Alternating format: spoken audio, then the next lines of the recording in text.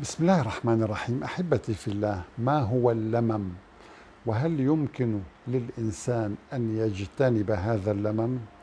طبعا أيها الأحبة هذا الموضوع مهم جدا ويوقع الكثيرين في المهالك ويوقعهم في فتاوى خاطئة أحيانا.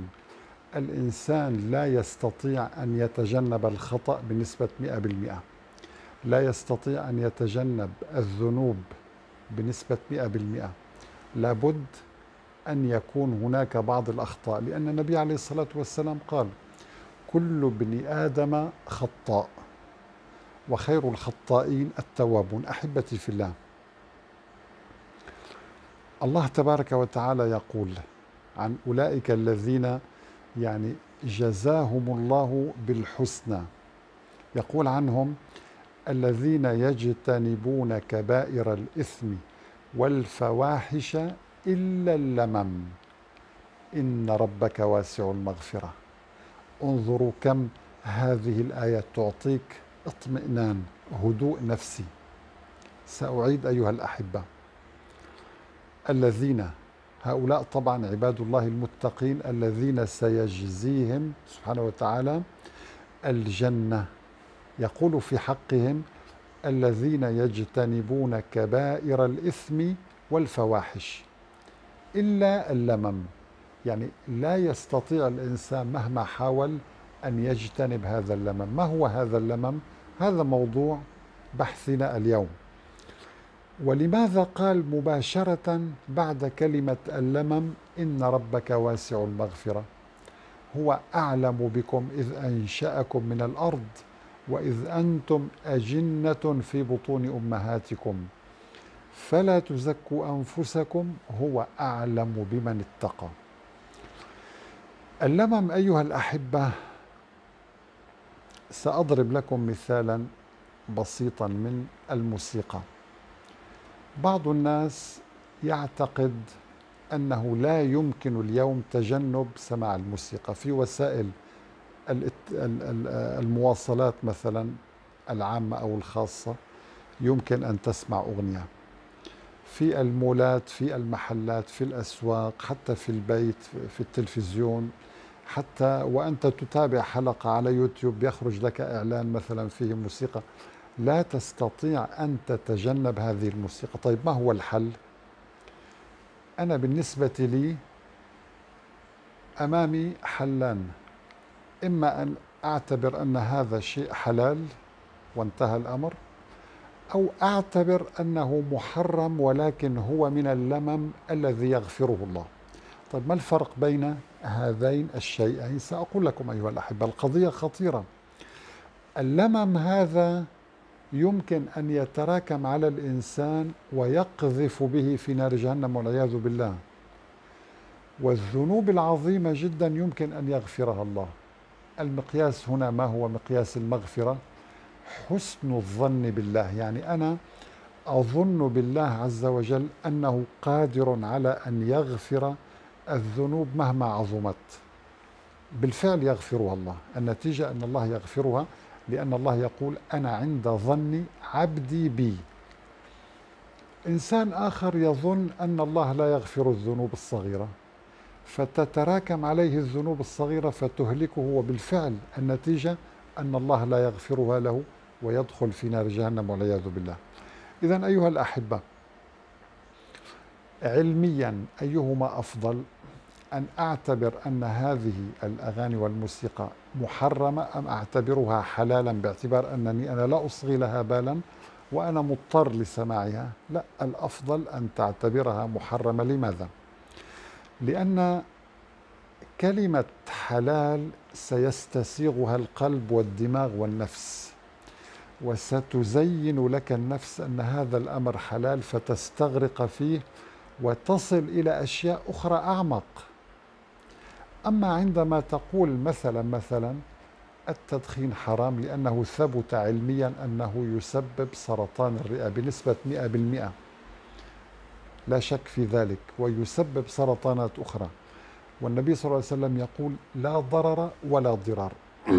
والله تعالى يقول ولا تلقوا بأيديكم يعني أنت بيدك تلقي بنفسك إلى التهلكة ولا تلقوا بأيديكم إلى التهلكة.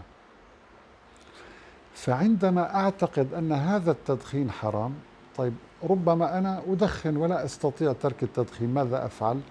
يجب أن أعتقد أنه حرام وأنا أرتكب هذا المحرم ولكن كل يوم أستغفر الله منه وأتوب إلى الله وأسأل الله أن يصرف عني شر هذا الدخان.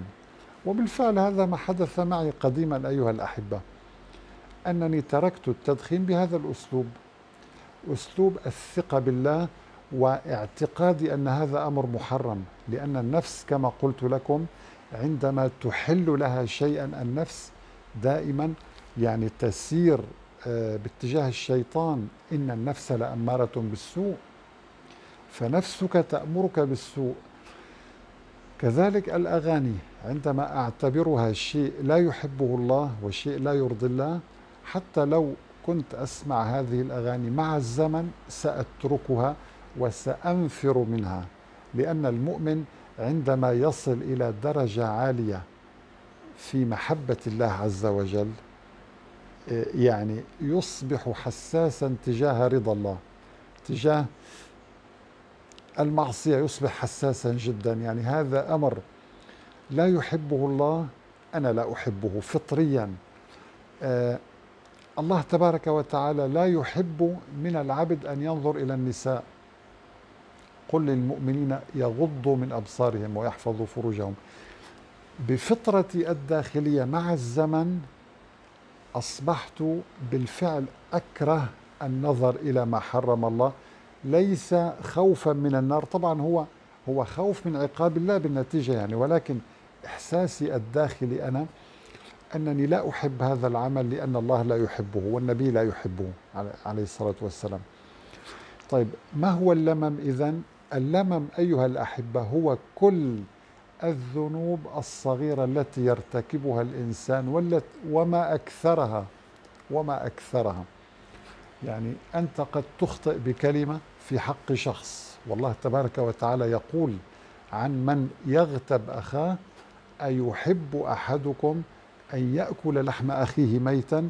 كأنك أمت هذا الأخ وأكلت لحمه وهو ميت. هذا أمر كريه وفظيع. يعني نفس الإنسان تأبى ذلك. عندما تخوض وتتحدث بكلمة لا يحبها أخاك مثلا. طبعا ليس أخاك في في في آه، يعني أخاك ابن أبيك وأمك أو أخاك في الإيمان. لا أخاك في الإنسانية. الإسلام نهانا أن نتحدث بسوء عن أي شخص إلا طبعا في مواضيع محددة تتعلق بإيضاح حقيقة مثلا المشككين والملحدين مطلوب منا أن نحذر الناس منهم ولكن لا نتحدث عن الجوانب الشخصية في حياتهم. حتى الملحد لا يجوز لك أن تغوص في حياته الشخصية تتحدث بما يتفوه به بلسانه وتنتقد هذا القول وتصحح للناس المعتقد. أما حياته الشخصية لا يجوز. ولكن إذا تحدثت في حياة إنسان حياته, حياته الخاصة وتبت إلى الله هذا من اللمم. إذا طبعا إذا لم تسبب له ضررا كبيرا سيصبح من الكبائر. يعني لاحظوا أيها الأحبة الكبيرة مثل الزنا. عقوق الوالدين من الكبائر أيها الأحبة. ولا تقل لهما أف. بعض العلماء اعتبر أنك إذا قلت لأبيك أو أمك أف هكذا من الكبائر. ويخشى أن, أن, أن هذه الكلمة تمنع عنك دخول الجنة والعياذ بالله. لذلك أحبتي في الله هذا اللمم تعريفه هو الذنوب الصغيرة التي لا ترتقي لمستوى الكبائر. لذلك قال تعالى الذين يجتنبون كبائر الإثم والفواحش الزنا السرقة أكل مال اليتيم آه، ظلم الناس من الكبائر أيها الأحبة. الربا من أكبر الكبائر الربا والعياذ بالله. عقوق الوالدين ترك الصلاة من أكبر الكبائر. فأنت إذا تجنبت هذه الأمور العظيمة و آه، لابد أن تخطئ. كل إنسان خطاء. لا يستطيع الإنسان أن يكون كالملائكة لابد أن يكون هناك أخطاء. ولكن ما الذي يميز الأنبياء؟ ما الذي يميز الأنبياء؟ وهم أفضل الناس على الإطلاق كثرة التوبة. إن الله يحب التوابين. كلمة تواب صيغة مبالغة من تاب تائب تواب كثير التوبة يتوب باستمرار. النبي صلى الله عليه وسلم كان يتوب إلى الله أكثر من سبعين مرة كل يوم. يقول أستغفر الله العظيم وأتوب إليه. آه الأنبياء عليهم السلام كانوا كلهم يستغفرون الله باستمرار من هذه الذنوب التي هي اللمم مع العلم أنهم معصومون أحبتي في الله. النبي معصوم ولكن ربما النبي إذا غفل لحظة عن ذكر الله ربما يعتبر ذلك ذنب يعتبر ذلك ذنب أو من اللمم فيستغفر الله. مع العلم أنه شيء طبيعي أن الله سبحانه وتعالى لن يؤاخذك إذا غفلت عن ذكره قليلا وانشغلت بالدنيا. ما دمت تؤدي الصلوات المفروضة وغيرها من أركان الإسلام. الشيء الثاني أيها الأحبة الإنسان أحيانا يضطر لأن يعني يكذب مثلا كذبة ليصلح بين شخصين. يضطر أن أن يتكلم بكلمة ليتجنب شر إنسان دون أن يؤذي أحد. هذه الأمور أيها الأحبة الصغيرة هي من اللمم. فعندما أنت تعتبر أن هذا اللمم هو هي ذنوب وآثام ولكنها قليلة والله سبحانه وتعالى واسع المغفرة مهما كانت ذنوبك كبيرة الله يغفرها عز وجل. قل يا عبادي الذين أسرفوا على أنفسهم لا تقنطوا من رحمة الله. إن الله يغفر الذنوب جميعا. إنه هو الغفور الرحيم. الكبائر أيها الأحبة تهلك الإنسان. ما دمت تتجنب الكبائر الربا عقوق الوالدين ترك الصلاة آه، الزنا شرب الخمر معروفة يعني معروفة الكبائر معروفة في الإسلام. شهادة الزور من الكبائر ما دمت تتجنب هذه الكبائر وتتجنب الفواحش مثل الزنا مثلا فأنت في خير وتفاءل بالخير وينبغي أن تعتبر أو تعتقد أن هناك إلها رحيما. يغفر الذنب ويأخذ به لتكون من هؤلاء الذين قال الله في حقهم وإذا ذكر الله وحده اشمأزت قلوب الذين لا يؤمنون بالآخرة وإذا ذكر الذين من من